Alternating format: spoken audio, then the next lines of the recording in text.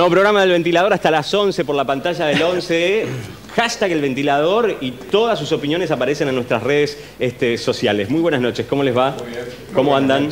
Hola, Mucha- buenas ya vamos a presentar a todos los invitados que hay hoy. ¿Cómo están? ¿Cómo Bien, andan? muy ¿Todo bien? Estarán Bien. viendo en algún que otro plano que acá tenemos muchos jóvenes, adolescentes más que jóvenes, ¿no? Las edades ya las vamos a, a- a preguntar.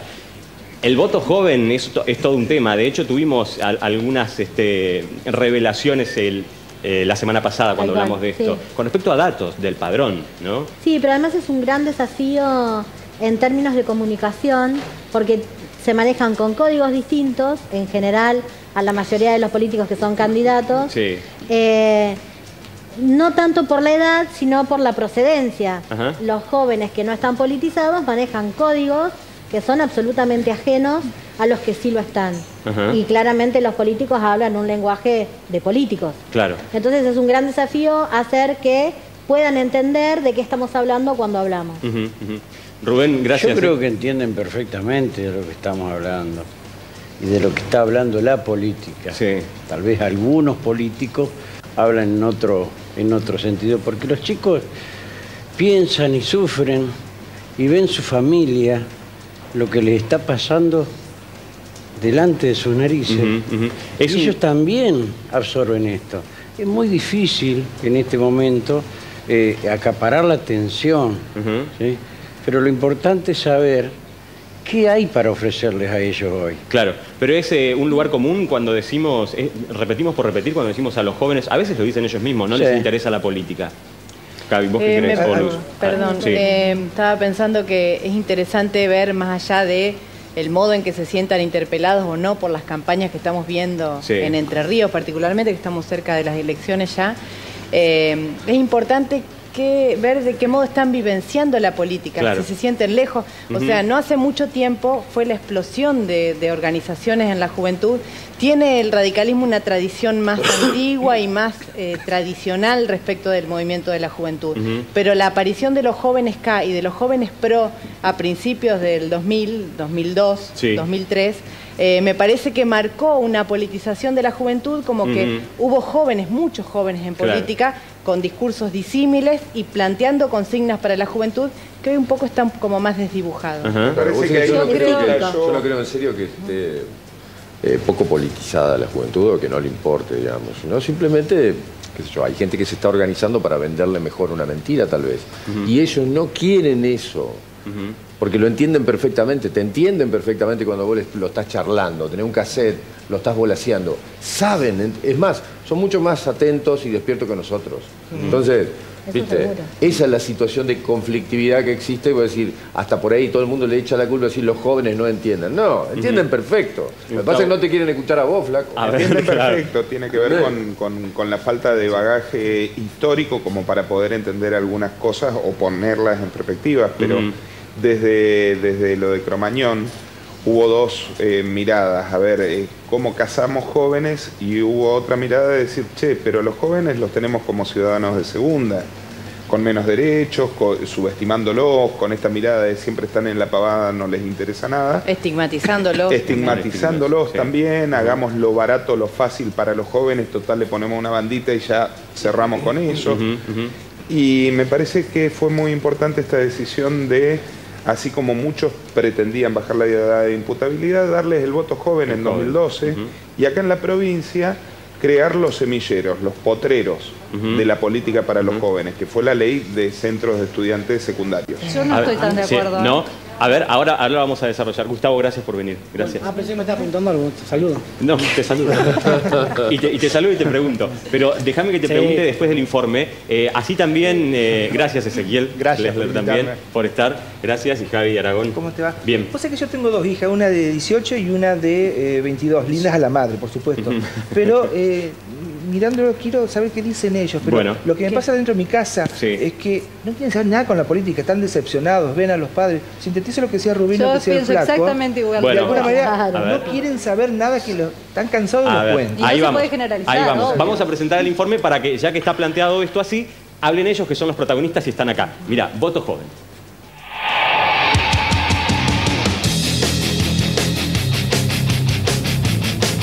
Se sabe, Entre Ríos este año tendrá elecciones desdobladas de la nación, por lo que quienes votamos en la provincia tendremos un cronograma anticipado. Este cronograma marca que en 18 días, es decir, el 14 de abril, serán las primarias y el 9 de junio el día de la decisión final en las elecciones generales.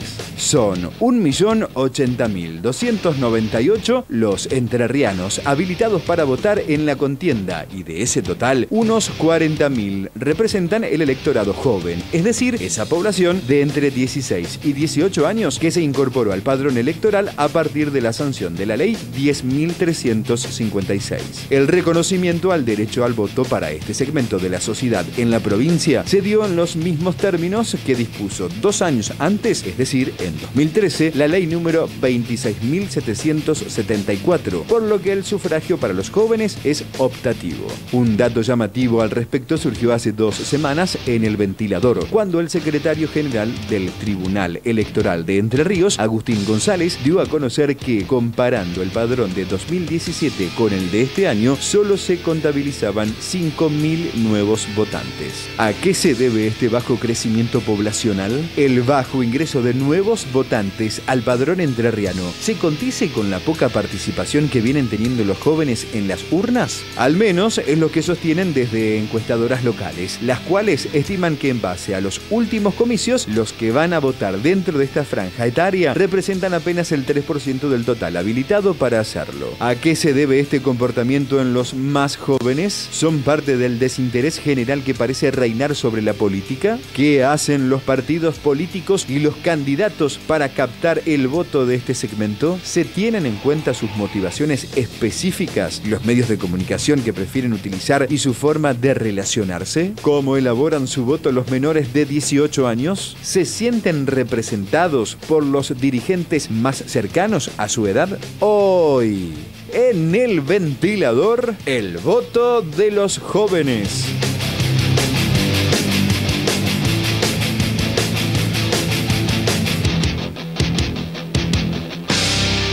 A ver, es una de las preguntas del informe todas, pero esta última me, me parece interesante. Si necesariamente alguien más cercano a la edad de ellos los hace sentir eh, más identificados. Si solo la edad es una cuestión que, que pueda jugar a favor para la identificación.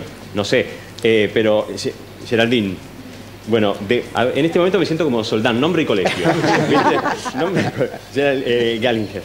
Perdóname, perdóname. A ver si me puedes pasar el mic. Sí. Ah. Ahí estamos. Sí, yo voy a la facultad, no voy a la escuela. Vas a la Facu, sí, sos estudiante de marketing. Sí, soy estudiante de primer año de marketing. De marketing. Eh, A ver, recién estábamos planteando si hay realmente un desinterés por parte de los jóvenes o si se capta el discurso y lo que hay es una mejor selección, digamos, de esto me interesa y esto no. Eh, sí, podría ser, o sea, no es que me desinteresa la política, Ajá. porque en mi familia se ve, y por ahí depende del candidato, afecta un poco lo que por ahí pasa dentro de tu hogar. Claro. Y en sí, pero la verdad que el tema Pero de eso te lleva, por ejemplo, a investigar sobre cada candidato o, Eh. o- cómo, cómo captás el mensaje de cada uno. Y eso para votar, generalmente con mi familia lo charlamos a ver qué dice, qué, cuáles son sus antecedentes.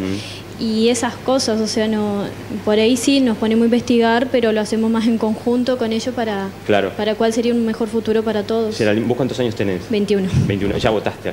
Sí, sí, Y sí. ya votaste. Desde O- 2015 voto. de- claro, o sea que vos hiciste uso del voto optativo, digamos, que es de los 16 a los 18, ¿no? Si no me Sí, equivoco. sí, voté con 17 años. Votaste con 17. O sea que eh, entre, y entre tus amigos, porque re- recién hablas de hablarlo en familia, ¿no? Porque también, obviamente, tiene que ver con, con- siempre la política repercute siempre en una familia también. Pero ¿y entre amigos, por ejemplo, es un tema recurrente la política? Mm, La verdad que no. ¿No? No, no, no. La verdad No. que no. Muy poco y Ajá.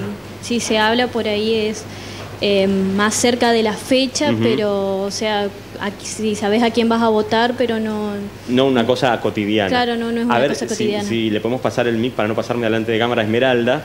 Sofía Urre, ¿cómo estás? Bien, vos. Bueno, vos sos este, presidente de la Juventud Radical de Oro Verde. Así es. Que tu caso de alguna manera es otro también, porque vos sí estás inmersa. Sí, exactamente. Soy militante de la Juventud militante. Radical y me formo parte del movimiento nacional de la militancia Ajá. radical. Y como, como militante, como militante, eh, ¿sentís que llegan a los jóvenes para que también se interesen? ¿O podés objetivamente decir, no, es cierto, hay una cantidad de jóvenes a los que no les interesa? Y mira, esto es un poco más amplia la situación porque estamos atravesando una crisis los partidos políticos Ajá. hoy día y la participación de la juventud en los partidos políticos no tam- tampoco es muy significativa y de menos se puede esperar de que al electorado joven se le quiera llegar con alguna propuesta. Personalmente yo analizo y por ahí leyendo un poco de la historia de cada partido político y por ende de los, de los que se postulan, más o menos conozco las ideas y la, y la tendencia o la- el proyecto que quieran tener. Pero hoy hay una realidad y es que se ha mediatizado la política y no hay, nadie presenta proyectos ni propuestas de gobierno, sino que se presentan simplemente vedetismos o fotos y tampoco le da cabida a uno como joven para, para ver qué propuestas tiene para, para Claro. Ah, a gobernar. ver. Lalo, Sí, ¿lo eh, votarías a, a Macri si se presenta para la reelección? Vos que sos radical. Personalmente yo eh, adhiero, no mejor dicho, acepto lo- la decisión que tomó mi partido en, la última, en el último Congreso Provincial, pero porque soy orgánica, no quiere decir que lo comparta. Eh, estoy militando en el Movimiento Nacional de la Militancia Radical que plantea volver a las ideas y volver a las bases, a la militancia. Y un frente electoral con el, con el PRO que tiene eh, ideas de gobierno que actualmente están llevando a cabo que no condicen con lo que es eh, mi partido, no, no lo comparto. sí. No sé si es la respuesta. A ver, Perfecto, perfectamente. perfecta. Perfectamente. Se Bueno, ahora, ahora en la próxima, Que no lo vota. en la próxima, que en los próximos días hay que definirse, el partido va a tener básicamente este debate. Así como en Gualeguaychú triunfó la posición del PRO, se estima que va a estar muy peleado dentro del seno del radicalismo cuál va a ser la posición en la próxima ¿Cómo es la asamblea? Convención. La Convención. convención. Convención nacional. Eh, Esmeralda, ¿vos cuántos años tenés? 22. 22, todos jóvenes. A ver si le podemos pasar a Augusto, que está atrás, Solari, del siglo XXI. Exactamente. Bueno, primero buenas noches. ¿Cómo te va? Eh, me parece muy positivo este espacio que nos está brindando a nosotros los jóvenes, Ujú. que por ahí cuesta que nos- a nosotros nos escuchen. Como decía el señor allá del tema de Cromañón, que ahí se empezó como a darle más importancia a los jóvenes, y por allá que vos decías del tema del segundo lugar que teníamos nosotros en la sociedad. Ujú. A mí me parece que también eso se ve reflejado en el tema de la educación. Eh, creo que algo muy importante para que un país pueda salir adelante es la educación, formarnos.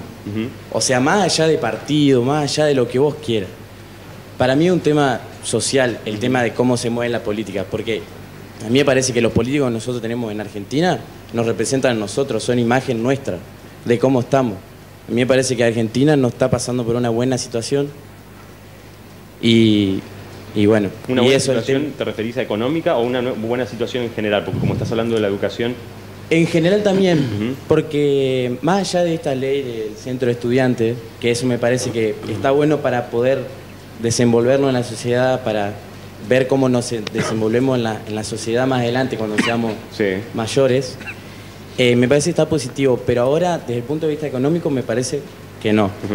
Y Augusto, social y en tu, en tu caso recién eh, em, nos decía el Geraldine que no, ella no tiene la experiencia de que entre los jóvenes sea un tema que- del que se hable, ¿no? Salvo previo a las elecciones, bueno, ¿a quién vas a votar? Tal vez exista la pregunta, pero no, la política no está como un tema cotidiano entre ustedes. En tu caso, Mira, a mí todo lo contrario, a mí me, me apasiona la política, me Sí. apasiona. Eh, yo creo que a veces falta un poco más de- del tema de politizarnos, los jóvenes, pero bueno, eso también va para cada uno, el tema del gusto de cada uno. Augusto, pero ¿tenés amigos con quien charlar que compartan tu gusto por la política? Sí, por ejemplo con Simón, Con Simón, que nos conocemos de, de allá del club de básquet, de chiquito, eh, hablamos mucho, pero por ahí son las excepciones, a veces. Por ahí somos más como los, ap- los que estamos apasionados por la política, que es lo que más nos, a ver, nos apasiona. y ya que lo tenemos a Simón ahí, si le puedes pasar el Simón Eppelbaum, gracias. ¿Qué tal? Buenas noches. ¿Cuántos años tenés vos? 17. 17. Ya, bueno, no, en tu caso no hiciste todavía uso del... del- Sí, voté dos veces, en las PASO y en las generales de 2017. Ah, claro, los Claro. 16. Claro, el año Ten- pasado. estaba- claro, tenía- Voté con 15 o 10 días de cumplir 16, que ya aparecía en el padrón, y después voté en las generales ya con 16. Claro, mira, ahora te- tenemos acá un ejemplo de alguien que votó a los 15 años, a mí me parece fantástico. Y, eh, y, bueno, ahora a votar de nuevo, obviamente. Sí, sí, sí, eh, ya tengo más o menos pensado, pero no he decidido el voto. Ajá. Eh, ¿Los jóvenes están desilusionados de la política? Y hoy en día sí, porque aparte nunca, nunca te llegas a enterar bien de todo, porque la información que te da o es errónea o no está completa. Hoy en día con el tema de internet hay un exceso de información que nunca llegas a saber de qué manera enterarte o si esto será verdad o no. Pasa con los medios de comunicación, pasa con una noticia falsa en internet, pasa hasta... Te, te, te termina enterando por los memes que ves en Instagram, que eh, hoy en día hay memes que hablan sobre eso, sobre política, y más que por lo que te dicen los diarios o por lo que te dicen los medios. Ah, eso- ahí estamos, ah, eh, nombran por primera vez Sí, el canal sí, por el cual a ellos les llega la información. Digamos que es así. A ellos y a políticos, nosotros anoten políticos. No, sí, algunos al los, varios lo saben. Ahora, qué interesante, qué interesante lo, que dicen, lo que dicen los chicos. Eh, y la verdad es, es- es- es- es lindo escucharlo y es positivo cuando estamos en una sociedad que es altamente negativa. Ahora, trayéndonos de Paraná, eh, en este momento pensaba, eh, ¿qué pensará un chico, eh, estudiante o no, de la ciudad de La Paz, por ejemplo? El barrio Cementerio, Fátima, Barrio Feria, Puerto Márquez, el barrio Estación, muchos chicos como ellos, y que no tuvieron la oportunidad, lo que decía Augusto. Augusto, de poder cultivarse, de estudiar. Entonces también esos chicos existen. Por Y supuesto, teniendo sí. en cuenta Sí. la generación esta, estos 10 años donde ha bajado el caudal de votantes, que en la provincia de Entre Ríos tenemos 190 mil chicos que van a comedores. Entonces, le pregunto a la política, ¿qué tienen para estos chicos, pero también qué tienen para los otros Para todos, para todos. Ana. Sí, antes de que me interrumpiera estaba tratando de decir que eh, al principio yo lo que dije es que los políticos tienen que aprender el código Sí. de la juventud. En ningún momento dije que los chicos no entendían, que fue lo que dijeron el resto de los compañeros, por un lado. Por otro lado, respecto de tu pregunta, yo te cuento. El año pasado hicimos un focus group justamente en La Paz, donde participaron básicamente jóvenes de los diferentes lugares, eh, de Barrio Feria, de, de los diferentes lugares que tiene La Paz, y la verdad es que piensan muy parecido a ellos. Las posibilidades que tienen seguramente son Ah, me he diferentes. olvidado de los chicos del Congo. También, Perdón. ahí no hice focus, pero en el resto sí. Eh, y la O de verdad Verón que piensan, piensan parecido. Esta, esta ¿En qué, en qué aspectos, por ejemplo? Y por ejemplo, cuando vos le preguntás, ¿cómo te informás de política? La respuesta a veces es, y yo cuando estoy con internet busco en YouTube. Y no buscan las plataformas que tendría que ver con lo redactado, con lo escrito, con la palabra escrita, Ajá, ajá. sino que buscan más lo visual. Claro, Pero hay una Entonces, cuestión- por ejemplo, se informan así. Sí. Después lo que dicen es, en general yo me fijo, el primer voto suele ser lo que decía Geraldine, Ujú. muy conversado con la familia, bastante de qué le pasa a mi familia y en función de eso decido. Empiezan a tener más independencia en su voto, en general, cuando se van a vivir solos. Cuando se van a vivir solos es Ana, como que una la- pregunta. dejan de charlar tanto con la Ajá, familia. Eh, eh, los jóvenes, bueno, o a los jóvenes por ahí le podría preguntar, ¿votan más a, a- a la persona? Una vez, como dice, que a lo mejor vos ya te independizás un poco del pensamiento de tu familia, ¿a la persona o, o a los dogmas o a lo que dice la persona? ¿Los atrae más el personaje? A ver, eh, ya que tenés, Sim- Simón, el... Eh, siempre se trata de votar teniendo en cuenta la persona, el proyecto, pero el tema es que nunca llegas, nunca llegas a conocer un proyecto porque nunca se plantea un proyecto. Se plantean promesas y chamullos, por así decirlo, de campaña que te muestran sí lo que quieren llegar al fin, Sí. pero no los medios para llegar. Cuando creces te a sigue ver. pasando, ¿eh? Sí, sí, Mariano, sí. A mí me parece que está bueno esto de, la- de las plataformas, pero es la visión formalista de la política. Porque si agarramos lo que fue la propuesta de Mauricio Macri en 2015 y vemos todo lo que planteó y todo lo que prometió, eh, yo lo hubiera votado. Ahora, para saber si la vaca es renga, vos tenés que dejarla caminar. Y este es el problema para la juventud, que por ahí no tiene la experiencia acumulada de haber ido siguiendo la trayectoria, declaraciones, posicionamientos en prensa durante varios años para saber quién es. Pero bueno, No, pero, pero Simón no- no recién... podemos- eh, No, sí, plantear, no, sí. pode- no podemos, el, el argumento de este, tenés que seguir muchos años a un candidato, No. a una idea, es bastante absurdo en el sentido de que quiénes podrían votar un consejo de ancianos, ¿no? Tenés que A mí me gustaría formación haces? política desde la primaria, si todos valoramos la, la democracia, que haya educación política desde la, desde la primaria Pero qué- pero existe. y sanciones electorales para la persona que prometa una cosa en campaña y después haga lo contrario. Hay mecanismos en todo caso para eso, pero, pero educación política existe, vos podés formar Ah, centros. a ver, podés- eh, respondiendo un poco sí. a lo que preguntaba la señora, eh, personalmente eh, voto ideas, no voto personas porque las personas van y vienen.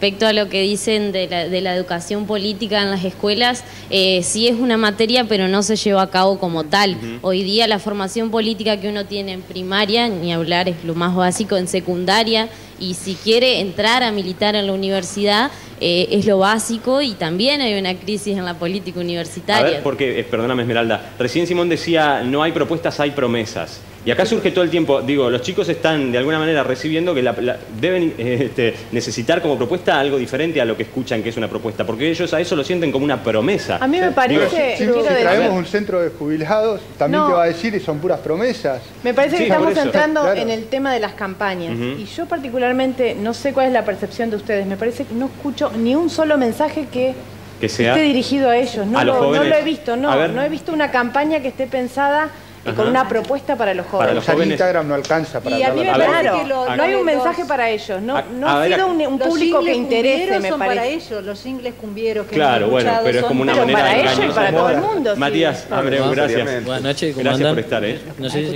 escucha se escucha, perfecto.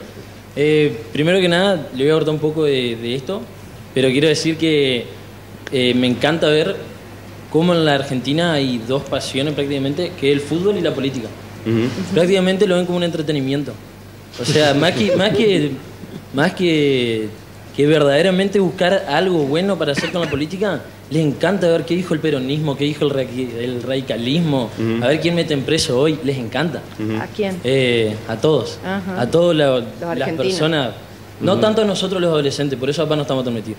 Segundo, quiero decir que la mayoría de, de los que vamos a votar adolescentes escuchamos a nuestros padres.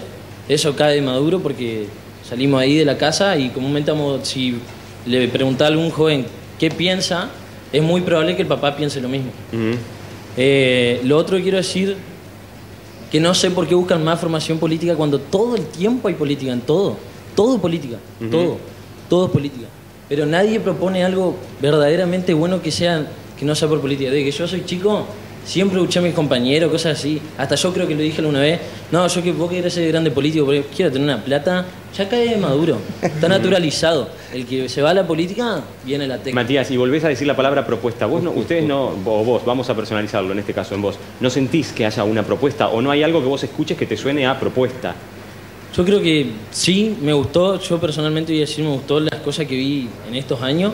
Soy comerciante y he andado por todo Entre Ríos. Y las rutas sí se solucionaron. He escuchado algunas propuestas y me gustaron. Pero creo que es verdad que mucho mentira. O capaz que no mentira, pero buscan nueva política, buscan estar. Que un, plata como que un candidato sea joven o cercano, esto para todos, ¿no? A la, a la edad de ustedes. ¿Necesariamente los identifica más? ¿Le van a prestar no, más atención? Lo- ¿Sienten que puede este, comunicar o proponer algo que tenga más que, más que ver con ustedes o no necesariamente? Yo personalmente no, no me siento nada identificado. Con- no me cambia nada. Porque sea joven un, un candidato. A ver, Esmeralda.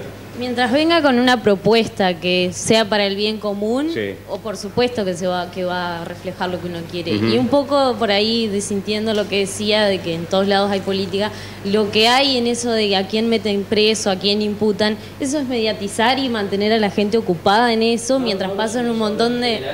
No, sí, en un montón de situaciones que, que van por abajo mientras pasa todo esto de a quién metemos preso, a quién no.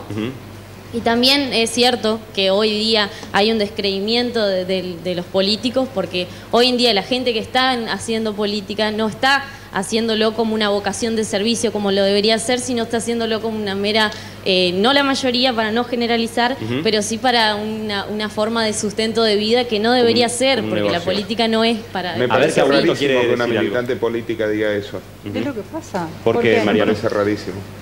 Es la realidad. Es su opinión. Pero, ¿por es la realidad. Me parece rarísimo que una militante política diga que la mayoría de los, de los que están en política lo hacen para un beneficio personal. Pero ella no puedes No, es que es- observar eso. Hay casos Es, que- es verdad, obvio. Hay numerosos Por casos. supuesto, es su opinión. A ver, Augusto. O sea, es más, es, Hay gente es que- perfectamente demostrable, Claro, tremendamente, hasta digamos. pruebas A mí tengo. me O sea, parece- tremendamente. A mí me parece que no. ¿Qué sé yo? Los salarios de- del municipio, por ejemplo, no permiten volverse rico a absolutamente nadie. Conozco en, en lo personal Sí, de la muchos provincia y de la nación también. funcionarios, muchos funcionarios que han desarmado estudios profesionales, terminaron los cuatro años y tuvieron que salir a reconstruir todo con muchísimo esfuerzo. Excepciones. Eh, entonces, a mí me parece que hay toda una campaña a nivel global de despolitización de la, de la sociedad que funciona muy bien, que en Argentina tuvo picos muy altos, que se invirtió mucha sangre en eso.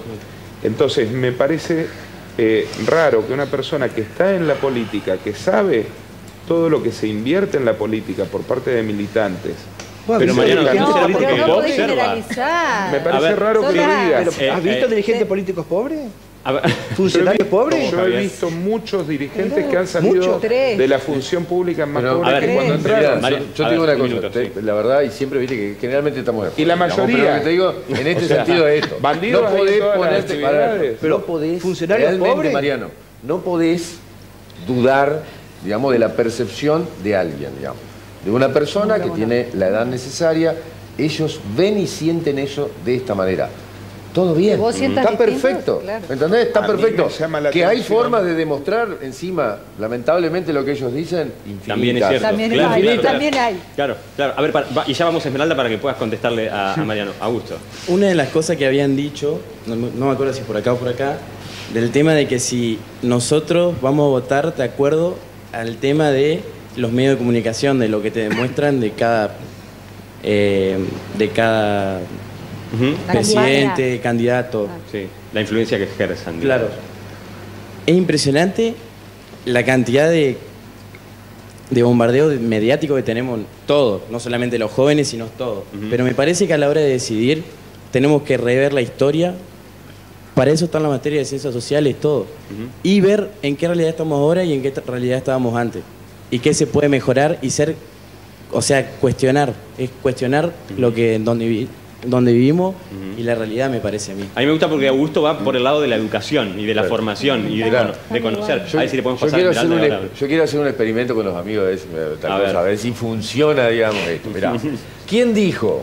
En ningún momento hay más oscuridad en el- que en, en el segundo antes de amanecer. la película de Batman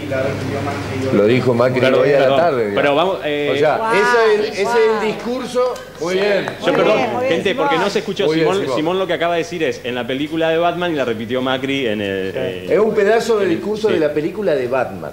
Harvey Dent Y el presidente de la nación toma una parte y lo dice, digamos. ¿Viste? ¿Eh? Y está bien. Y ¿Cuál- eso, cuál pa- es el ay, bueno, problema momento, hacerlo? momento, Ah. ahí voy, ahí voy, ahí voy. ahí voy. Ah, bueno, dale. Ese es el marketing. ¿Qué piensan ustedes cuando ustedes reciben esto, digamos? Onda, ¿qué bien el pibe o A ver, Esmeralda, A ver. que No, yo tenés le el quería micrófono. decir que no es nada raro que alguien piense así cuando está militando en política, porque justamente para eso se involucró, para cambiar la realidad que hay hoy en la situación política, en la situación de los partidos en general.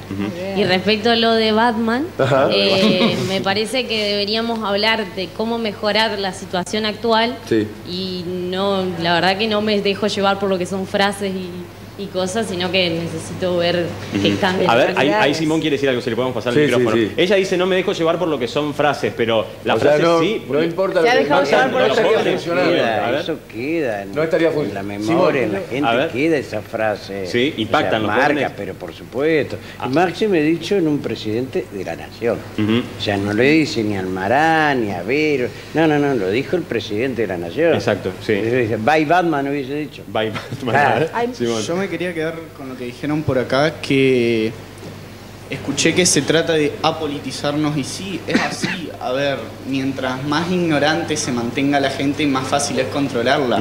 Por eso evitan la información en los medios de comunicación, se habla de de la pelea de Carmen Barbieri con Jorge Rial y no de que hay 33, 32% de pobre en la Argentina. Eh, se trata de mantener a la gente ignorante para poder así manejarlo, controlarlo más fácil o a la hora de decir algo que te crean y no que digan, che, esto será verdad, lo voy a buscar. A ver, y ahí porque dijiste, ahí si le podemos ir pasando el micrófono a, a Matías. Los medios, tra- existen los medios tradicionales y, lo- y la- y las redes. ¿Cuánto consumirán los chicos? Ahora se lo vamos a preguntar a ellos. Porque primero, eh, Simón, arrancaste hablando de que conoces a algunos políticos por memes. Eso es genial, Por ¿no? supuesto. Porque, eh, y es que se trata de eso, hay que ayornarse a los códigos y, y a los cambios.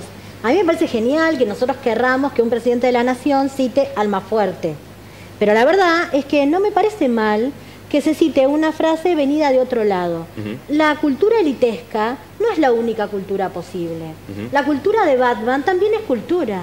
Entendiendo cultura como todo, y me extraña además quienes lo están justamente criticando, entendiendo cultura como todo hacer del ser humano. Entonces, Ah, y es igualmente de válida. A y a mí no me parece ni bien ni mal que Macri haya elegido la frase, estoy segura que no va a conseguir un solo voto más por haberlo hecho.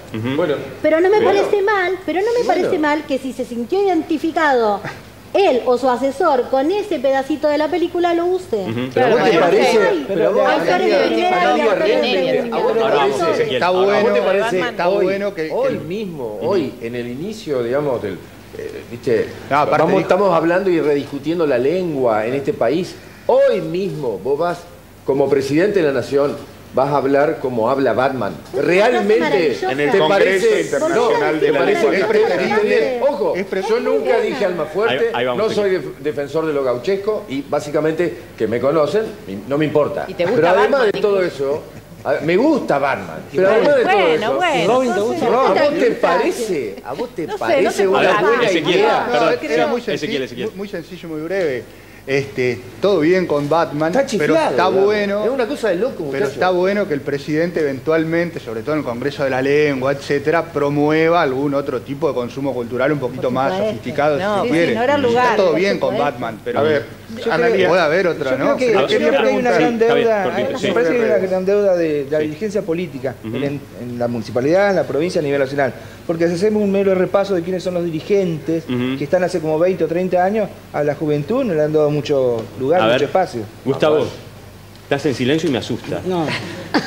La adversidad es la piedra donde templo el fi- el filo de mi daga. Mira, ahí, querés- ahí tenés Ahí una tenés frase. frase. Esa la podría haber ocupado Macri, por ejemplo. Eso es algo fuerte. Hay mucho. Eso. A mí me parece que eh, el- eh, se producen procesos eh, muy similares en, en- en la historia, sobre todo en la historia reciente argentina, donde se da, eh, donde las condiciones materiales de la vida cotidiana, de la economía, de la política, condiciona la participación de los jóvenes. En los 70 tuvimos una altísima participación que culmina con una decepción, no vamos a entrar en detalle, pero todos sabemos lo que fueron los 70. El reverdecer de la, de la democracia con el alfonsinismo generó una gran ebullición, que también termina con otra gran decepción. Menem que desmoviliza, que tiende a no generar ninguna participación. El, el, el, el del arruismo, sobre todo con el frepaso, intenta también desde la centroizquierda generar una nueva participación, termina con otra eclosión. Y el kirchnerismo, nobleza obliga, genera una nueva, eh, un nuevo estímulo de participación donde aparecen nuevas variables que van eh, generando una fuerza centrípeta, ¿no?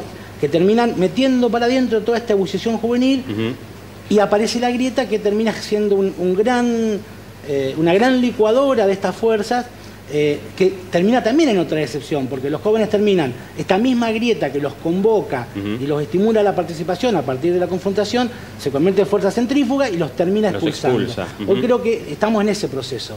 La grieta, así como nos, nos molesta a la gran mayoría de la sociedad, termina expulsando a los jóvenes que se sienten otra vez decepcionados, que la situación económica del kirchnerismo fue, termina muy mal, el macrismo termina peor. Entonces hoy vemos que esas condiciones materiales que condicionan la participación hacen que los procesos se repitan casi en forma simétrica. Participación, ebullición, decepción. Hoy estamos en decepción a la espera de un nuevo relato, un nuevo horizonte que genere una nueva... Pero eso Ah, le pasa a a los jóvenes bueno. y nos pasa a los adultos. A, todos en general. también. Pero bueno, eh, vamos a leer mensajes de ustedes del otro lado, que hay muchísimos, ¿eh? y vamos a escuchar de nuevo las voces de ellos, los protagonistas. Así es, Lalo. Hola, buenas noches. Soy estudiante de ingeniería. ¿A quién votar? Creo que hoy hay mucha corrupción y no nos permite ver eh, lo bueno o lo malo que nuestra provincia o nuestro país tiene para dar. Creo que cuando los políticos decidan serlo como un trabajo serio, ahí sí vamos nosotros los votantes a empezar con seriedad a mirar a quién votar. Hola, buenas noches. Los jóvenes no quieren saber nada de política. Eso es lo que yo pienso, porque en este país no hay futuro si no sos hijo de o sobrino de. Soy Fermín y los miro siempre. Hola, buenas noches. ¿Qué opinan los jóvenes de los políticos que antes de asumir no tienen nada y luego se hacen millonarios estando, por supuesto, siempre trabajando para el Estado? Buenas noches, mi nombre es Juan Manuel. Creo que en campaña pedimos renovación, que aparezcan nombres nuevos y cuando de repente aparece alguien con ganas de militar y de presentar cosas nuevas, nadie lo vota. Hola, buenas noches, mi nombre es Ricardo. Mi gran incertidumbre es por qué no hay candidatos más jóvenes. Hay uno o dos eh, y son como candidatos testimoniales, pero en realidad eh, no hay seriedad en cuanto a las propuestas y los nombres de gente jóvenes. Hola, buenas noches. ¿Podrían eh, preguntarle a los jóvenes que están presentes qué opinan del de, eh, tema de la economía? Ellos decían que ven a la familia sufrir por esta cuestión. ¿Ellos van a votar con el bolsillo o con algo más? Soy Javier y los miro siempre. Bueno, a ver, eh, ¿cómo votarían? ¿El bolsillo es un factor fundamental y lo ven a través de su familia, ustedes mismos? O, eh, Matías, sí, a ver si pasamos el, micrófono. Es una pregunta interesante porque en realidad lo debatimos siempre en sociedad, entre todos, ¿no? Pero específicamente en el caso de ustedes. Que yo creo que sí que el bolsillo es importante de todo, obviamente que es importante. Pero creo que tienen que dejar mirar tanto a los políticos y ponerse a trabajar también y ahí no te va a importar tanto el bolsillo. Aparte, es verdad lo que dijo, no sé quién lo dijo, lo que leyeron de recién, que los jóvenes no quieren saber nada de política. Y es en serio, capaz que ustedes son excepciones y les gusta la política. A mí también me gusta. Me gustaba, en realidad. Pero ¿Cuándo, no ¿cuándo te gustaba? ¿Antes? Me gustaba porque me tenía que sentar a veces con mi viejo a ver la tele, a ver Intratable, que estamos en un ámbito parecido, ¿viste? Entonces decía, ah, mirá qué entretenido, mirá que se peleó con quién, ¿entendés? Pero desde que soy vendedor y ando más en la calle me doy cuenta que me molesta incluso encontrarme a alguien que me venga y me diga, no, porque viste que está todo mal por culpa de este y al rato, no, porque viste que está todo mal por culpa de este. No, está todo mal si vos no te movés. Está todo mal si vos no te pones las pilas para salir adelante. Está todo mal si vos te sentás enfrente a tu tele a ver qué dicen los políticos y no salís a trabajar. Por eso está todo mal, porque vos no haces un empeño para que las cosas salgan. A ver, y pero... permiso, una cosita, te repito. Y también otra cosa que está re mal es el fanatismo. El fanatismo que hay. Yo de chiquitito aprendí algo como vendedor. Si vos hablas con un quinerista, decís que sos quinerista. Para no pelear. Muy bien. Pero si vos sos peronista, esa familia peronista, viva Perón, ¿eh? Vamos, muchachos. Quiero decir que Matías es estudiante de marketing, nada más y nada menos. O sea, claro, la- la- Por eso quiero decirle. está bien.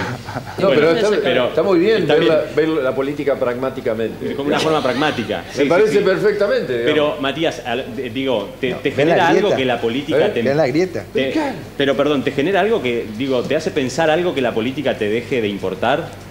Eh, ¿O te parece que está bien? Me parece en realidad que, que está un poco bien. Que ya hay muchas personas pensando en política. Ajá. Y están todo el tiempo, más que no están pensando verdaderamente en un futuro, están pensando a ver quién gana. Si gana su partido, si gana el del otro. Eso están pensando. En vez de pensar en otras cosas que verdaderamente son A ver, importantes. si le podemos... Que acá Simón quiere, quiere decir algo, vamos con las chicas también. Perdona, Esmeralda. Sí, Simón. Que yo creo que es imposible no pensar en política porque, a ver, somos seres políticos. Si el colectivo pasa por tu casa o no, es política. Si te arreglaron la vereda, es política. Si tu viejo cobra 300 pesos más o 300 pesos a fin, menos a fin de mes, política. Me parece que todos tendríamos que estar metidos en la política, o por lo menos informarnos, porque, a ver, es lo que al final del día te va a decir, che, a vos hagas lo que hagas, te va a ir un poco mejor o un poco peor. A ver, Geraldine, eh, Matías hablaba recién. Claro, de, digamos, me parece, dijo una frase que me parece, yo ah, la había escuchado poco, ¿eh? me parece que hay ya demasiada gente interesada en la política. Hay, hay otros que tenemos que dedicarnos a otra cosa. Es súper válido también lo que está Absolutamente, diciendo. aparte, ¿no? Pero, Pero hablan de poca eso- renovación. Es lo que Ah, sucede en el resto bueno. del mundo, por otro Hay- lado. no se ellos- también de que eso Ale. no indica que en algún momento, cuando sea grande y tenga otra, Claro. sea más grande, Claro. participe. Exacto, Digamos, exacto. hoy ¿Qué pasaría? no le llega. ¿Qué pasaría si no fuera un voto o el voto obligatorio en Argentina? ¿Cuánta gente votaría de verdad? A partir de los 18, a ver. No, no, de todos. Y los jóvenes ni hablar. Eh, no, yo con respecto al tema de la economía, yo lo veo mucho, nosotros en mi casa trabajamos todos. Sí. Y nosotros nos alcanza bien la plata, pero por ahí no sé, vamos al supermercado y en vez de elegir la marca que más nos gusta, de alguna galletita o algo, por ahí vemos una marca más barata o algo de eso. Y por ahí eso influye en la economía, que vos por ahí querés darte el gusto con algo y no te alcanza. Y vos decís, bueno, mejor compro algo más barato. Y eso te lleva directamente a pensar en qué candidatos votar, digamos, el bolsillo es lo... lo- lo- Es una de las cosas sí que pienso mucho también, sí. ¿Y qué otras cosas, sí, sacando eso como factor? Y también ver eh, las promesas que hicieron y si algunas las cumplieron, de cómo están en sí el tema de la universidad. Eh, bueno, que el año pasado se habló mucho el tema de la universidad pública, que estaba, Sí. que la querían privatizar. Eh, después también el tema de los colectivos, que los colectivos han sido un Ya, desastre. Yendo a un tema Sí. estrictamente local, que es súper sí, sí. importante, que en este programa lo hemos tratado Lo mucho. Perdón, porque Augusto quería decir algo también, a ver si le podemos pasar a mí. Yo con el tema en la actualidad, yo soy hijo de papá de clase media, yo no la sufro tanto la crisis, no la sufro tanto, pero yo, yo creo que se nos va a venir y hay gente que la está sufriendo. Yo veo gente en la calle y la verdad que me provoca un remordimiento impresionante. Y, y no me importa si estoy bien, si tengo un celular, si puedo comer en el plato, me provoca igualmente. Como seguramente lo hubo antes, ¿eh? seguramente. Pero la verdad que yo no puedo ver eso. O sea, es como que me cuesta y como decía bien Simón, nosotros somos seres políticos. Augusto, ¿y te, te involu- te involucrarías en política, eh, digo, para una candidatura, no, no el, el interés de la política? ¿Quiénes de acá, por ejemplo, se ven, en- bueno, sa- Sí. salvando hasta Esmeralda, que vos ya estás participando activamente, sos militante, pero los demás, ¿ven candidatearse para algo como, como un futuro posible? Bueno, a ver, pero... si Mira, alguno- yo estuve en el centro estudiante de mi escuela, estuve vicepresidente, ahora ya eh, caducó, digamos, la, el- lo que fue la gobernación de ahí. Y bueno, algo, algo más medianamente, algo es algo, dijo Sí, el sí, diablo sí. y se llevó mejor al hombro. Hoy es la noche de los dichos. Pero, y, bueno, pero por eso entonces lo ves como posible. ¿Te Sí, interesó? Hoy no estás el- en eso, pero te interesó. Yo antes de chiquito quería ser presidente. Como Claro. de chiquito todos tenemos ambiciones grandes. Pero después, viste, cuando te vas golpeando con la realidad, vas viendo otra cosa y que podés llegar al poder de otra forma. O podés llegar, no sé, de otros ámbitos. No necesariamente con un cargo político. Claro. Bueno, ya, ¿y Simón? Eh, yo estos últimos cuatro años fui delegado de mi curso y la verdad que sí que me interesaría introducirme en la política. Hace unos días estábamos hablando a gusto de meternos en el Consejo Estudiantil de Paraná. Y yo creo que, a ver, eso de que todos los políticos son iguales, de que a, a mí no me afecta quién esté gobernando, para mí es nada, siempre te va a afectar de una manera u otra, eso es lo que me quiero referir. Y yo creo que el- hablando de frases, lo del todos los políticos son iguales, para un analfabeto todos los libros son iguales y por eso. Simón, si vos A ver. fueras político o funcionario, ¿qué sería lo primero que harías?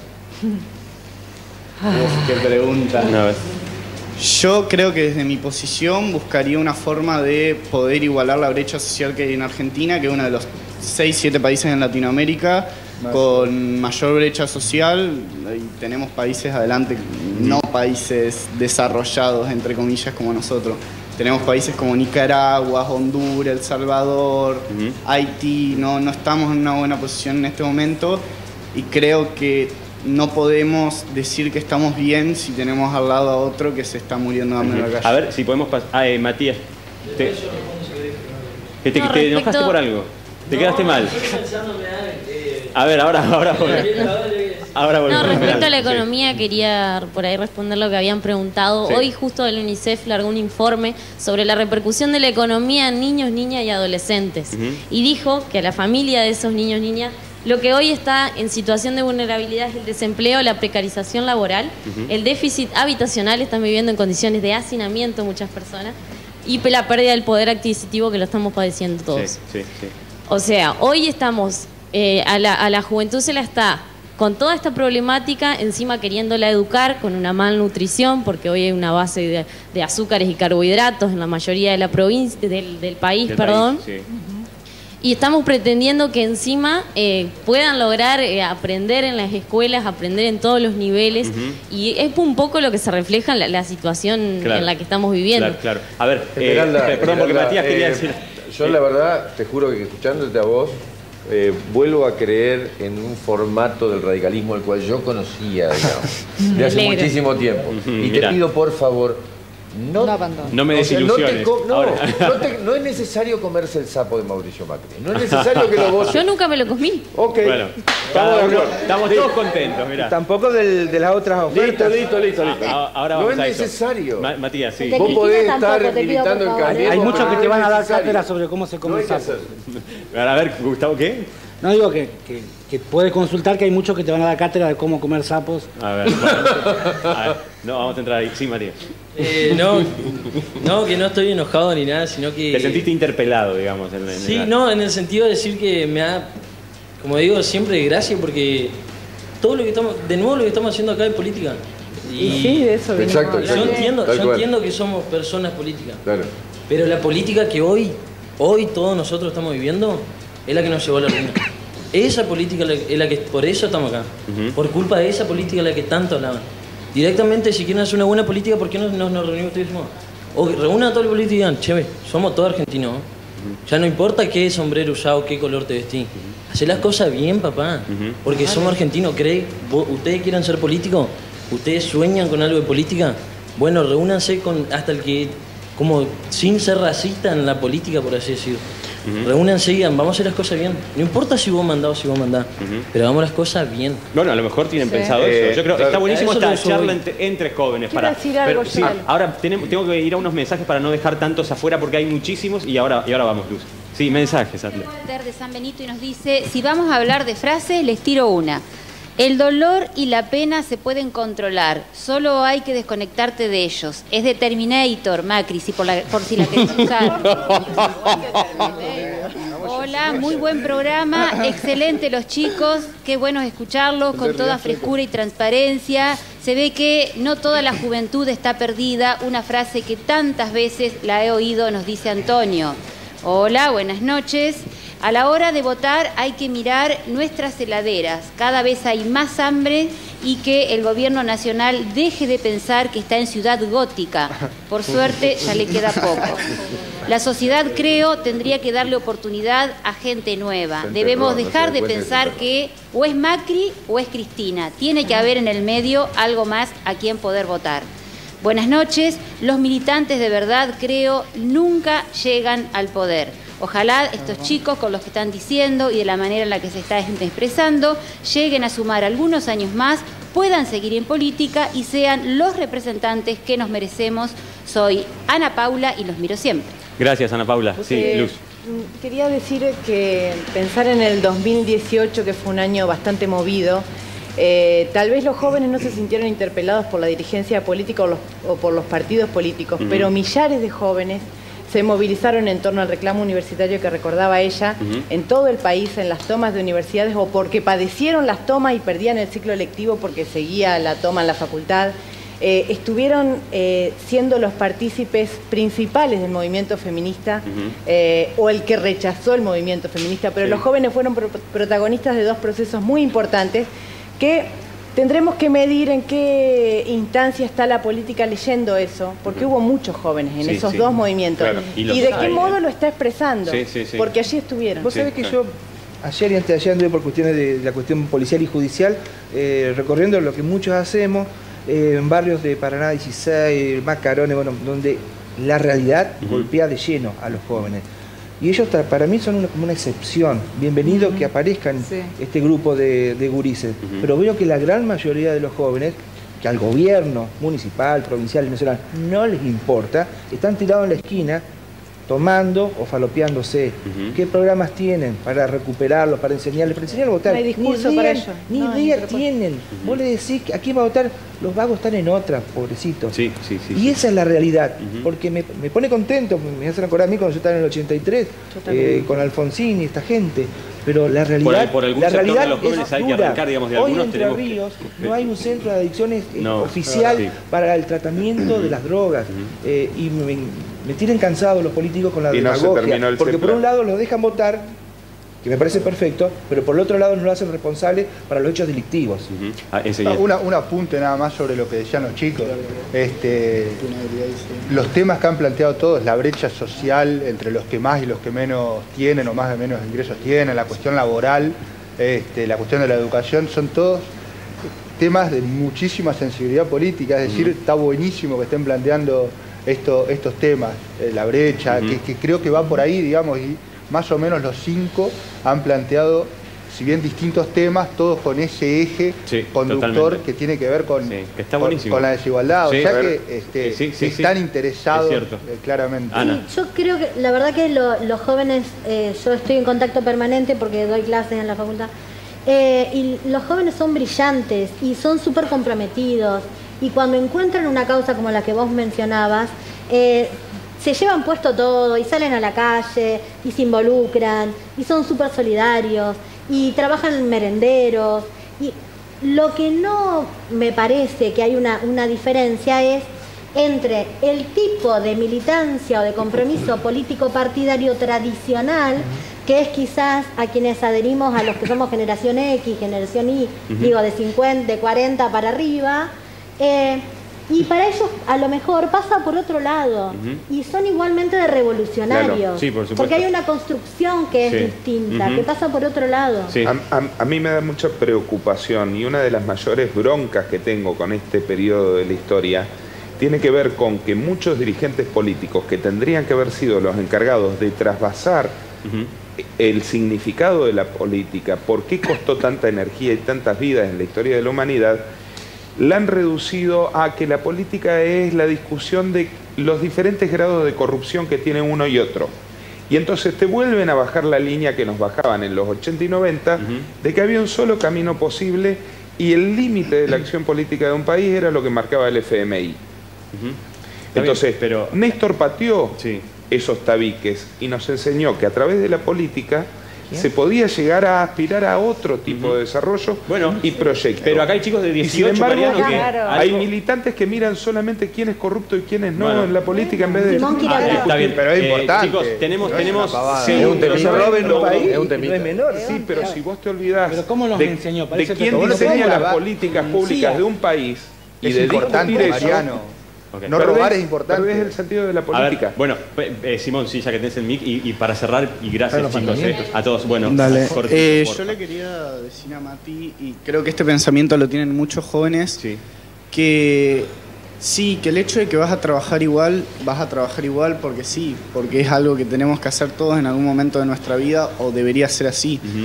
Pero, por ejemplo, un trabajador que cobra un salario mínimo, hace 10 años el salario mínimo era de 595 dólares, creo, y hoy en día es de 286, 287. O sea, el hecho de que sí, todos somos argentinos, los políticos no, al, fin, al fin y al cabo no piensan eso la mayoría. Piensan en muchos políticos en el interés propio, sí, después otro que sí, que piensa en la patria del otro, pero la mayoría no. A ver, eh, Esmeralda, y, y para cerrar... Perdón, sí, eh, Simón, perdón. el 20% de los chicos de este país de tu edad no trabajan, no estudian y vieron tres generaciones de su familia sin trabajar. Eh, ya tenemos un problema de base que no está vinculado a chicos de clase media, sino que te condiciona un montón de aspectos de la vida cotidiana, de la economía, de la política. Bueno, a ver, perdón, eh, sí, Esmeralda. No, sí, sí, sí, ya es para cerrar, no quería dejar un, un mensaje por ahí a la, la juventud que por ahí no, no cree en la, en la política o en, o en el partidismo político, que si siente que la situación está mal y que, y que siente que está todo mal o que no está bien lo que se está haciendo, que se involucre de- en el partido que sea y que milite y que cambie la realidad, porque cuando uno se involucra puede llegar a cambiar la situación. Si nosotros nos quedamos sentados, pasivos, quejándonos todo el tiempo, nos van a seguir llevando de las narices como lo vienen haciendo. Cortito, Augusto, cortito. Para cerrar nomás, para dar una idea, y para el que está viendo, por favor, cuestionemos la realidad. Porque, ponele si te, no sé, mirás TN, te va a decir todo lo que va a pasar en la semana. Y así, o mirás 678 y te va a decir, cuestionemos la realidad. Esa es la forma de avanzar para tener una mejor sociedad. Bueno, genial. Chicos, mil gracias. Gracias por estar acá después de las pasos. Vale el aplauso para decirlo. La verdad que sí, totalmente.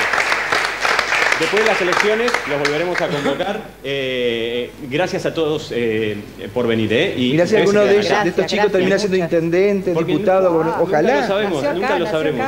Sí lo sabremos, no lo sabemos hoy, pero es muy posible. Eh, gente, quédense. Después de la pausa vamos a estar hablando de este fallo de la Corte Suprema de Justicia respecto de no cobrarle ganancias a una jubilada. ¿Qué pasa con esa jurisprudencia a partir de ahora? ¿A quiénes beneficia si hay un beneficio? pausa breve y ya venimos.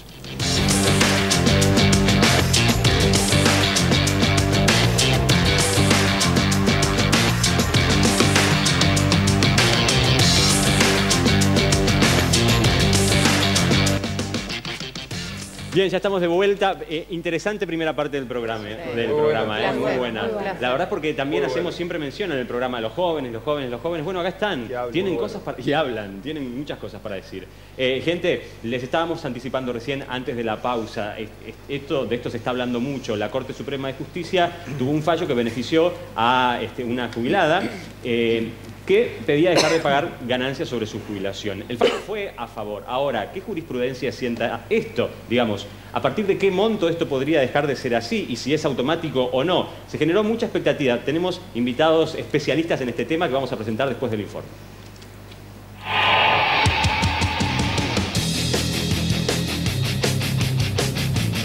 Maricano, oriunda de Villaguay y quien hoy tiene 84 años.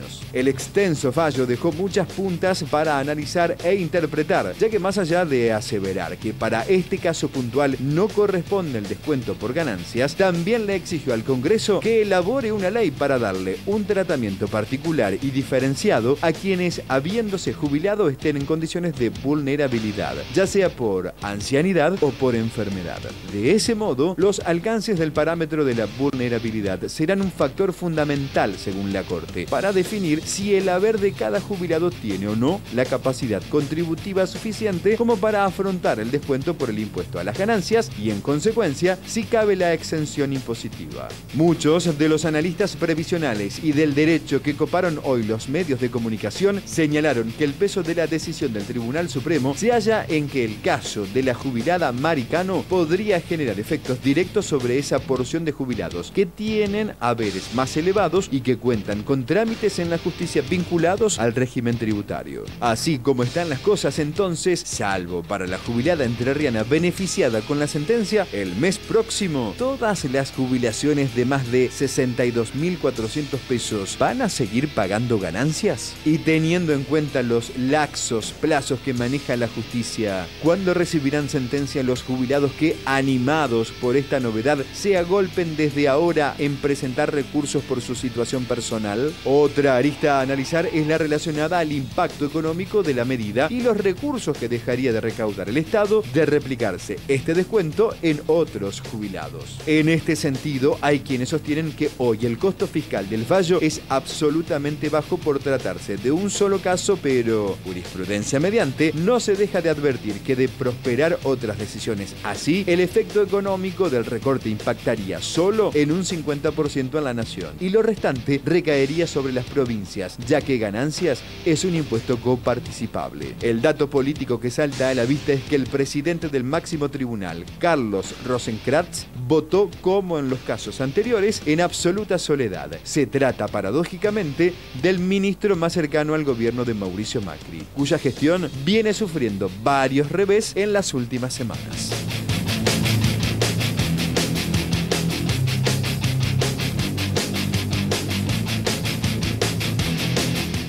Bueno, Pablo Tánger, gracias por venir.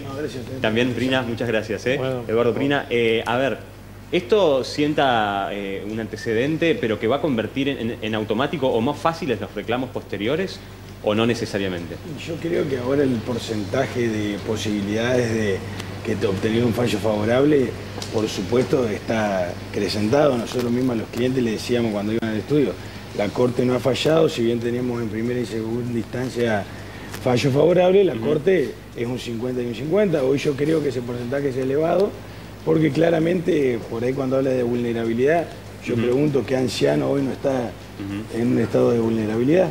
Me parece ahí, me parece que ahí todos los ancianos están. Ustedes patrocinaron a la, a la jubilada por la cual. Estamos hablando de que. ah, sí, Javier. Hay un caso, la- mi primero está ajustado a derecho, está muy bien el trabajo de los, Sí. de los doctores, los conozco, trabajan muy bien, pero se habla de vulnerabilidad en una señora que cobra cerca de 100 mil pesos por mes.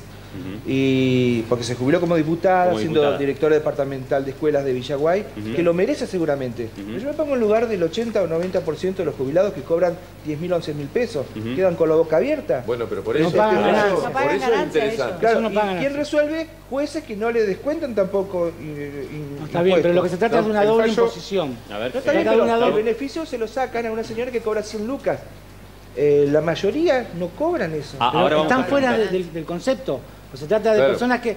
eh, No, esto, incluye a 300.000 personas, 300.000 jubilados ¿Qué vulnera- que solo representan el tiene una señora que 3% cobra del 100.000 total de pesos? A ver, Pero Pero si vos- es, otra discusión, cosa. Javier, no tiene nada que ver con, este, con esta A ver, para, entenderlo, ¿por qué, Gustavo? ¿Por qué? Porque se trata de... eh, eh, la ganancia es un impuesto de los más progresivos que tiene dentro de esta fatalidad argentina de, de- de- esquema impositivo, que es dramático. Sí.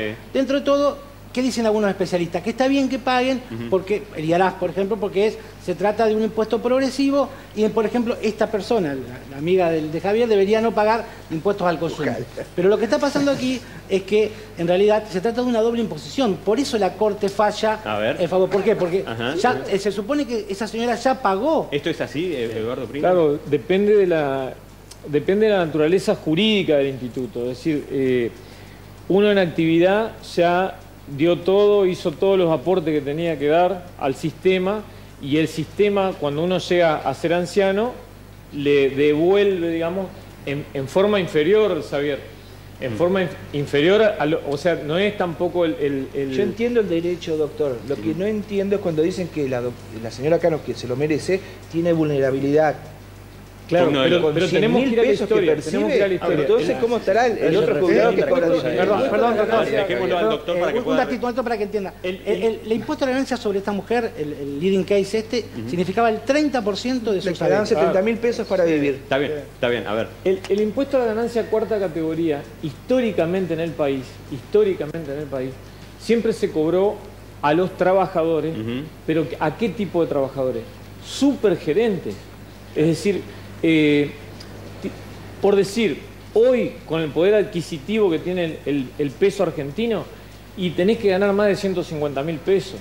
Y nunca en los porcentajes voraces que le han, le han esquilmado. Es decir, eh, ¿por qué la gente eh, empieza a plantear, hoy muy bien lo decía fuera de cámara hablando el doctor Tánger, eh, que nosotros notamos en el estudio el incremento de los planteos. Es decir, comenzaron siendo unos pocos jubilados y, y mes a mes se incrementaban cada vez más, cada vez más por la desesperación Y- porque no les alcanza. Doctor, si la. Corte entendió situación de, vulner- de vulnerabilidad en este caso, se supone que entonces por menos de ese monto también de alguna manera ayuda al resto de los casos. Exacto. Porque Ahora, digo, eh, si, por- ver, si eso es una- vulnerabilidad, de 100 una para abajo... una- pregunta. A ver, Ezequiel, el sí, ahí aspecto que vamos, planteaba este, Gustavo y que explican los Sí. doctores es razonable, atendible y tiene, tiene una lógica. Pero, la, pero, pero el, el- el- el otro punto, que es lo que decía Javier, empezar a este, quitar impuestos a aquellos que tienen mayor cantidad de, de ingresos, no, no vas a llegar nunca a lo que planteaban los chicos más temprano, que es achicar la brecha entre los que más y los que menos tienen. Estamos en la posición más este, eh, incómoda, si se quiere, que es decir, che, ¿será justo que le quiten ganancias o que no y le- un tema, no, le- no entremos ahora, pero ya lo vamos a hablar, es, eh, digamos, cuánto complica las arcas del Estado también Ah, bueno, esto. Pero, Pero ver, allá de eso, Rubén. yo creo que todo esto fue un masazo directamente a Macri. Más allá que se ajusta a derecho y todo, lo- to- todo esto que, bueno, la doble imposición. eh, pero me parece eso. Ahora yo les pregunto a los doctores, ¿lo irán a pagar o el Fondo Monetario Internacional les va a decir, no señor, esto no se paga? Porque Ah, es no el. En compromiso asumido a- a, a partir seguramente de alguna ley que van a promover dentro de poco. La, Ah, bueno, la realidad es esto, o sea, que Primero, el porcentaje de jubilados de los cuales descuentan ganancias es ínfimo. 3%. No podemos entrar 3%. tampoco, no Sí. podemos entrar tampoco a intentar decirle a las normativas y a las leyes con un criterio economicista de que no. La norma es clara. El impuesto a la ganancia al jubilado, quien aportó durante 30 años, es inconstitucional, es inconstitucional. Después, si esta persona en su vida activa, que aportó 30 años porque lo que cobra coincide con lo que aportó, en un porcentaje inferior obviamente, pero coincide con lo que aportó. Y hay un sistema, el sistema de la seguridad social tiene un principio de solidaridad en el cual se basa, que es muy importante y me parece que esto es lo que revalida la Corte. Imagínate que la Corte los fundamentos que tiene es la igualdad y la razonabilidad. No es razonable que una persona de 30 años de aporte cobre con- coincidente con lo que... Pero con lo entonces que- la Corte aplicaría mira la cuestión fiscal. No, no, A ver, perdón, no- no soy no es abogado, correcto, no es pero correcto en Argentina tenemos, en Argentina, sí. perdón, no tenemos acción de clase o acción colectiva, que sí hay en Estados Unidos y en Europa. ¿Qué significa? Que si eh, se rompe una calle porque el Estado no la cuidó y afecta a 10 personas, Sí. a todas las personas que rompi- se le rompió la calle eh, ingresan dentro de ese fallo que favorece a las 10 personas estas. Eso es acción de clase o acción colectiva. En Argentina no tenemos, por lo tanto, este fallo, que en teoría sería de 6.500 millones en detrimento de las arcas fiscales, Sí. solamente hoy le compete a esta persona que ganó el juicio Sí. y a los que ya tienen iniciado causa, que es mínimo. Todos aquellos que quieran ¿Cuántos, sumarse perdón? ahora tendrán que hacer otro juicio personalísimo pidiendo los mismos beneficios o bien esperar que el, el Estado a partir a través del Congreso sancione una ley que los incluye y de alguna manera los convierta en actores de la acción colectiva. Ahora vamos a saber si recibieron más llamados a partir Es de esto. yo Ah, creo, sí. yo creo que tomándolo desde ese lugar, conociendo los números reales y demás, yo creo que hasta no es, no sé si es tan malo, digamos, para el gobierno de Mauricio Macri. A ver, ¿por qué? Porque hubiera podido ser peor. ¿Por qué? Porque el hecho de que la Corte Suprema de Justicia diga, legisladores, hagan esto porque es una cuestión absolutamente necesaria para que no suceda esto en un espacio mínimo de gente de todo el país, es un abran el ojo porque acá funciona por este lado. Porque si no, a ver, ¿quién no está en una situación de vulnerabilidad? En este país. Claro, a ver, Pero la eso es Corte para los jubilados por eso, pero por eso, por eso, exclusivamente, por no eso para- te digo, es un caso muy particular. Pero la palabra vulnerabilidad dentro de eh, un, eh, una orden de la Suprema Corte de Ju- de Justicia es muy grande, muy amplia. Flaco, yo porque Eh, hablé con la doctora Beatriz Aranguren, ¿en qué, ¿en qué año iniciaron ustedes la demanda? 2015. 2015, o sea... Obviamente tenemos que decir algo O para- sea, no, no, no, porque, porque políticamente es importante ubicarnos en el tiempo. En el 2015 había un gobierno anterior que le metía la mano a los jubilados. Lo mencionó Mari Cano y a la mañana hablamos un Entonces, ratito y mencionó cuando claro. dio marcha atrás en el- la votación del 82%, lo Claro. mencionaba. Esa es una-. Pero, eso Pablo, fue una ¿qué querías- barbaridad. ¿Qué querías aclarar? No, por ahí queríamos Eso fue una que, barbaridad. ver, justo eh, García María Isabel tiene, la Corte lo elige, quizás por los fundamentos, quizás por una cuestión de suerte, si quiere decirlo. Pero hay eh, el, el primer caso que sale acá en Entre Ríos, el de Cuestas, que es el que citamos todos los abogados que hemos hecho este planteo. Y obviamente eh, este, este hombre hace el planteo siendo abogado de la TER, que le descontaban ganancias, que creía que era inconstitucional.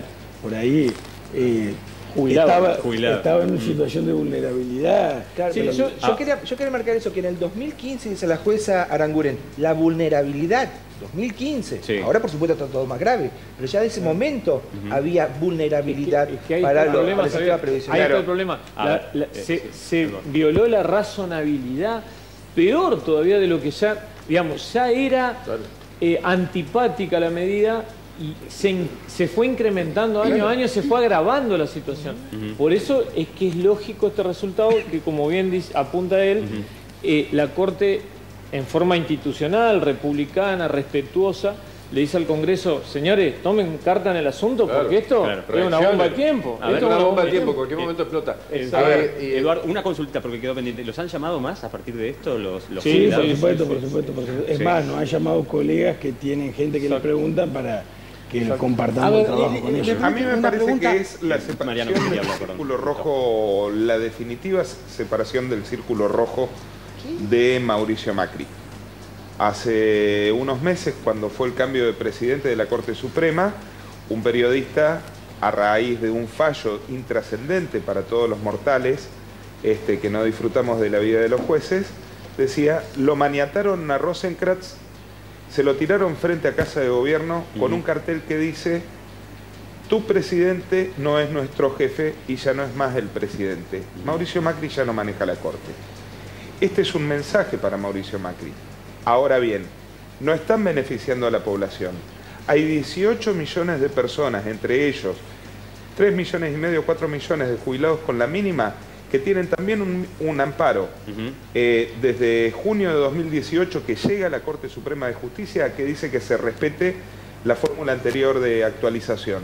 Eso haría que en vez de cobrar 10.400 pesos en este momento de jubilación, cobre 14.800. y si Cristina hubiese respetado el caso. Badaro, Y eso lo si Cristina hubiese respetado el caso Badaro, hoy los jubilados estarían en otra condición. Por ejemplo. Bueno, pero pisado. eso que pagó el Ezequiel. 82% El fallo móvil que están Cristina, mencionando. El 82% móvil el tenía fallo que está- lo que artículo están- lo que 12 de la ley del lo pagó, 82% ok, lo que están diciendo habla que en realidad la Corte sí mira la cuestión fiscal del país. Claro. Sí mira Claro. y sí atiende a cuestiones políticas y no solamente a las Claro, leyes. Digo, exacto. tenemos el fa- lo- los fallos que tuvieron que ver con la, la devolución a las coparticipaciones. Gustavo. Claro, sí. La Corte siempre va mirando y va tanteando qué- y cuánto puede fallar y cuánto dispone el fisco del, del Estado, el, el Estado Rubén, y en Nacional este para sentido, ¿es. ¿es menor el tema de cuánto afecta a las arcas del Estado o, o no?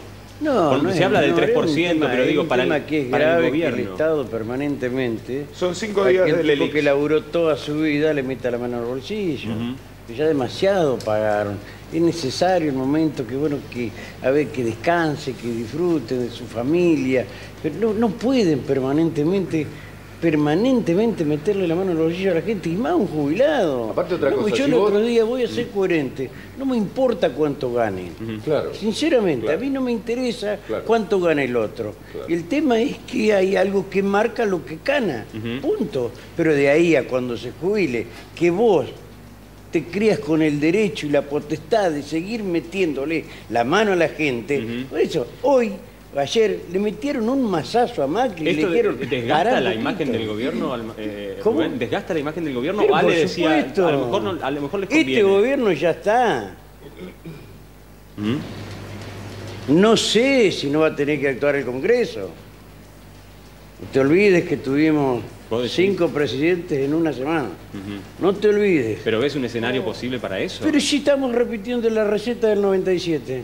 No, hay un Es proceso lo electoral mismo. en marcha, no, estamos, hay un proceso Estamos electoral en marcha. repitiendo la estamos cerca. receta. Hay cosas que sí Hay algunas hay cosas gustaría que sí hacer podrían llegar a una- pasar que claramente, ver, tiene que ver con una cuestión de la debilitación de la política. Esto lo más o menos lo entendemos. Sí, ojalá igual el peronismo no vuelva a ser un golpe económico como en algún momento en la historia de este país No sería lo bueno. creo, no Salgamos- lo creo, Ana, salgamos- no lo creo. Yo estoy si vamos a hablando entrar a hablar de golpes civiles, Claro, que podemos hablar de radicales No estoy hablando de cosas Ale, sí, desestabilizadoras ni de rayos espaciales, sino simplemente elección a elección. Acá, cada semana va a haber una elección, otra, otra, y eso te quita credibilidad y posibilidad de manejar políticamente. Es muy probable que antes de elecciones nacionales ya esté todo cocinado. Yo creería que también. A ver. Te eh, propongo sacar la llave del helicóptero y hacer una pregunta técnica que me parece que le sirve a los jubilados. Sí.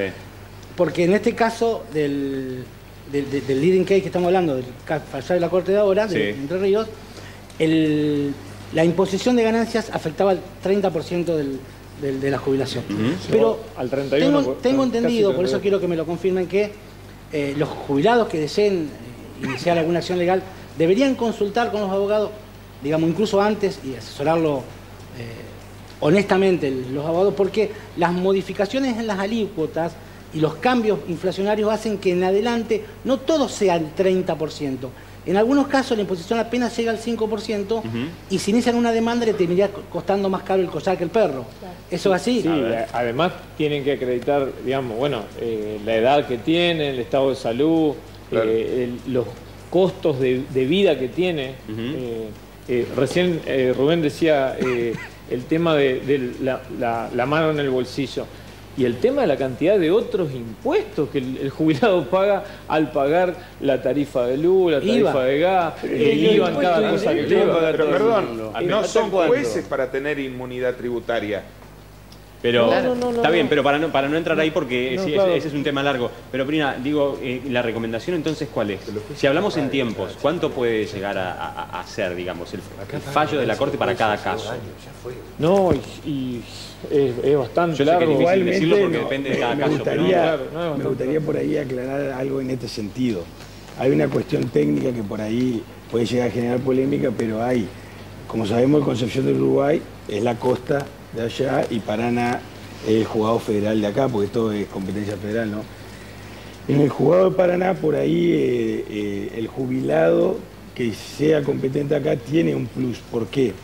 Porque al establecer el procedimiento sumarísimo, el juez de acá de primera instancia, cuando la AFIP apela la sentencia de primera instancia es con un efecto que se llama jurídicamente devolutivo. Entonces, la sentencia se debe cumplir mientras tanto. Entonces, desde, el- desde la sentencia de primera instancia, no ese jubilado ya no le están descontando. Entonces, quizás al- a, a inversa de juicios contra la ANSE, juicios con esto, el proceso o el trámite o la demora a los jubilados, obviamente, de la costa del Paraná, Es ya con la plata en el bolsillo. estás con la plata en el bolsillo. ¿Por qué hago esta distinción? Porque Concepción del Uruguay lo ordinarizaron al trámite, entonces este efecto no es, el- no es lo mismo. Es importante Justo- aclarar eso. Pero, también creo que tiene que ver con lo que Gustavo dice, asesorarse con los abogados Sí, y sí, sí, honestamente... Cada caso concreto, y en primera instancia tenés ocho meses de demora, más o menos. Eh, Y- y promedio perdón- hablamos, ¿no? Perdón, ¿y lo que Eh, la son- reparación histórica eh, están comprendidos en esto? Algunos tienen la posibilidad de cobrar más de 60 mil pesos. Eh, eh, siempre, sí, están comprendidos siempre y cuando eh, el ANSES a mucha gente que ha cobrado el retroactivo le ha implicado, pero no sería esta acción, sería otra. Ajá, ajá. Ah, pues, Estamos en una semana, ¿no? Estamos hablando de temas judiciales hace...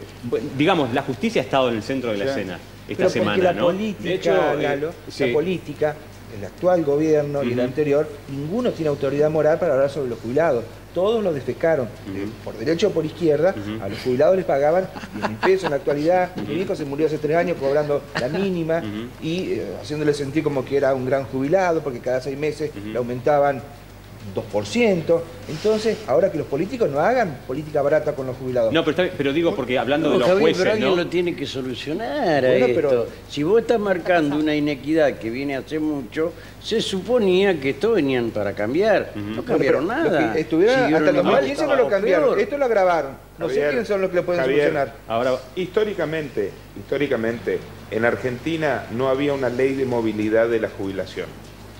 Estuvieron con 158 dólares durante 12 años las para jubilaciones, salir de la pobreza? las jubilaciones No. de, lo- de los pasivos. Eh, encima les recortaron el 13% en 2000 estos mismos que están gobernando ahora, la mayoría de los, Los que están anteriores la pagaban el gobernando ahora. 82% móvil. Se hace una ley, se hace una ley que en su momento se criticó y dijo los va a llevar a la ruina y sin embargo, salvo dos años, le ganó muy ampliamente a la inflación. Yo Una- algo- una para pero Gustavo, eso, breve, la- una preguntita. cortito, cortito, porque que, que estamos tiene que ver con, los impuestos. Le borraron la devolución del IVA, los cobraban la mínima, compraban con tarjeta también. Claro, el, el 5%. El 5%, Pero aparte, yo, yo creo que hay una que que no tenemos que arreglar de dimensión. Más allá de que cobren lo que cobren, esta jubilada cobre más, otro menos y todo lo demás. A, a ver, nosotros, ¿ustedes compran remedios, digamos? ¿Han comprado algún remedio últimamente? carísimo. No, por ¿Tienen supuesto. alguna idea de lo que sale? Pero por eso, gente, a ver, porque Chicos, ya ya nos vamos, está, nos ¿viste? vamos a No- pasar de no tiempo. discutamos- Perdón, no discutamos políticas con eso. Gente, un minuto No porque si- entramos en el tema de las obras sociales es otro programa, es para un programa realmente no no no podemos en este momento, pero por un tema de tiempos nada más, porque por supuesto que es importante e interesante lo de eh, la lectura política que hay que hacer a, es- a- a estos movimientos que está haciendo la justicia, no solo en esto, sino en, en otras cuestiones. En este momento la justicia está siendo protagónica, es necesaria porque hay una lectura política sobre todo, por supuesto, pero yo celebro que la justicia se meta también en estos temas porque algunos eh, benefician.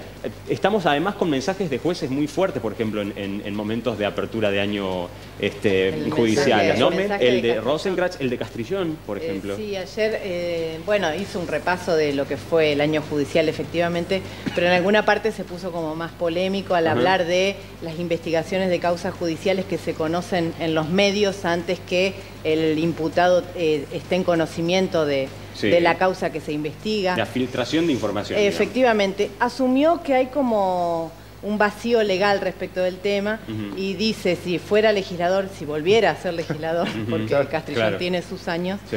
eh, él propiciaría una norma que ponga coto a eso de difundir una causa por los medios de Sí. que, que el que está implicado no, no, no tiene información. Eh, habló de eh, que en su perspectiva sería un causal de destitución que se filtre información de este tipo y en estas condiciones eh, en el marco de una ley que di- dice si fuera legislador lo propiciaría. Efectivamente, asume que hay como un vacío ahí que, que permite Pero- que y tuvo además una frase polémica. Sí, creo que dijo algo así Sí. como fun- vendemos, eh, no vendemos noticias, vendemos, Vendemos justicia, justicia, efectivamente. ¿no? Pero, Que ¿cuál, es, cuál es el problema que se investigue y se difunda así? Hay una persona, Aragón, eh, fue intendente y lo están investigando por robarse plata. Si sale en el semanario La Acción de Novoya primero y, y después soy notificado, ¿qué problema hay? Creo que habla Hay una el tráfico de información desde, ju- Sí. verdad la investigación. Está bien, bueno, habría que ver. Gente, no tenemos más tiempo. De Perdón, no tenemos más tiempo. Doctores, eh, Eduardo, Pablo, muchas gracias, No, eh, gracias por estar acá. Eh, bueno, creo que van a tener trabajo a partir de este fallo, más del que tienen, ¿no? Nos están convocando. Bueno, eh, gente, gracias, eh, y gracias a todos por estar acá. Gracias. Muchas gracias. Eh, un programa este, variado y te vas a ver, Ale se va a ver Batman para anotarse nuevas frases. Atenti con la de Terminator. Para con Robin. A Mai Sandy Hombres en Urquiza 1062, como siempre, eh, por el luz de todos los días. Y a M Peluquerías en Misiones 15 y a todos ustedes nos vemos mañana a las 21.30. Gracias.